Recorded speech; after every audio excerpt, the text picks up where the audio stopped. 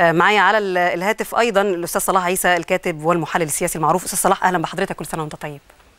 أهلا بك يا فندم كل سنة وأنت طيبة. أستاذ صلاح الوفود الفلسطينية مفترض إنها على وشك الوصول. هل أنت متصور إن هيكون في تفخيخ مرة ثانية للجهود المصرية للمصال... لل... للتوصل إلى صيغة لوقف إطلاق النار؟ هل هن... هيكون في ولا هيكون في توافق وخطوة لقدام في هذه المرة؟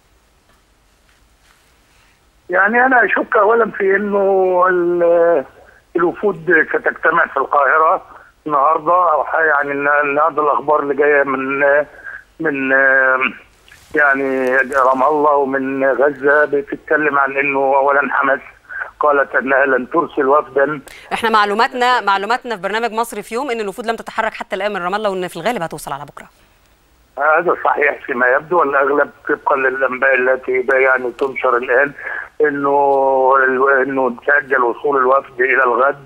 حماس أعلنت انها لن ترسل أحد من الداخل وأنه لن يوجد من يمثلها في هذه المفاوضات. ومعنى ذلك إنه الوحيد اللي موجود من حماس موجود في القاهرة. موسى مرزوق. الآن يعني حتى إذا شارك في المفاوضات لن يكون ممثلا لحماس وإنه حماس غايبة لأنه هل هل ده معناه إنها ممكن تستغل هذه النقطة بإنها تقول إن اللي في الداخل لا يعبر عنه من هو في الخارج؟ وإحنا عارفين إن في خلافات تاريخية أصلا بين حماس الداخل وحماس آه الخارج وفي اختلاف دايما في المواقف. صحيح. والجانب الآخر في الموضوع إن غالبا الإسرائيليين مش هيجوا. إذا وصل الوفد الفلسطيني بهذا التشكيل فلن يكون حتى ممثلا للفصائل الفلسطينية كلها. وسيقتصر على الذين سيأتون من رام الله. طبعا الرئيس محمود عباس هيأتي طبعا ممثلي الديمقراطية ممثلي الشعبيه ممثلي حزب الشعب.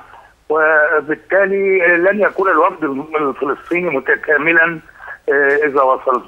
في الوقت نفسه الحكومة الإسرائيلية المصغرة مجتمعه الآن وطبقا للتقارير الواردة من هناك إن امامها عدة احتمالات الاحتمال إنها تاخذ قرار بإنه تجلو من طرف واحد مع احتفاظها بالشروط بالشريط الحدودي الذي احتلته من شمال القطاع إلى جنوبه بعمق حوالي 3 3 كيلو مترات وإنه هو المهمه العسكرية التي قدامها وهي القضاء على ما ما تبقى من الأنفاق أمامها يعني غدا أو بعد غد بالكثير.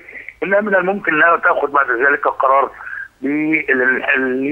للانسحاب من طرف واحد وبالتالي تتجنب أي مفاوضات وأي تعهدات يمكن أن تقطعها على أنفسها على نفسها في هذه المفاوضات بما في ذلك المطالبات التي تقدمت بها المقاومة الفلسطينية والتي أضيفت كمذكرة تفسيرية. اللي من بينها الميناء تشغيل الميناء والسماح للفلسطينيين بالصيد والمسألة الخاصة بالمعابر.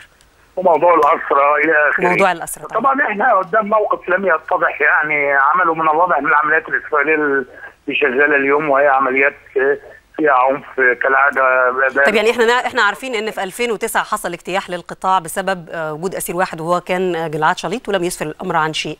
هل تستطيع إسرائيل إنها تنسحب دلوقتي وهي ليها لسه أسير موجود جوه؟ هل ده بيمثل ورقة تفاوض هتفضل أمام مع حماس ولا هتبقى في حرج إنها حتى تنهي عمليتها العسكرية إسرائيل؟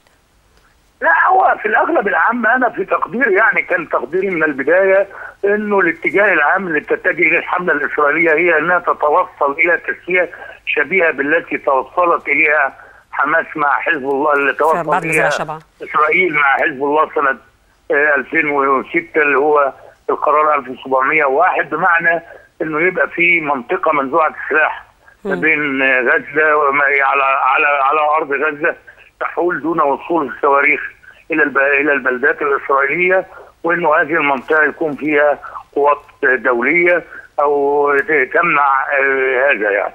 أنا بشكرك. حتى لو جاءت نعم اتفضل شكرا جزيلا أستاذ صلاح. أكيد إحنا هنتابع بكرة هذا الأمر ومؤكد إن بكرة لو حصل الاجتماع اللي أعلن عنه هنتابع أول بأول التفاصيل. زي ما حضرتك ذكرت إسرائيل أعلنت فعلا إنها لن ترسل وفد للتفاوض. هل الاجتماع هيكون بكرة بس للتوافق على ورقة واحدة يتقدم بها الجانب الفلسطيني؟ مين اللي هيكون ممثل ومين اللي هيكون غايب؟ أعتقد إنها سويعات قليلة هتجيب عن هذه الأسئلة. نتمنى إن هذه السويعات لا تشهد سقوط المزيد من الضحايا لأن المزيد من الوقت يعني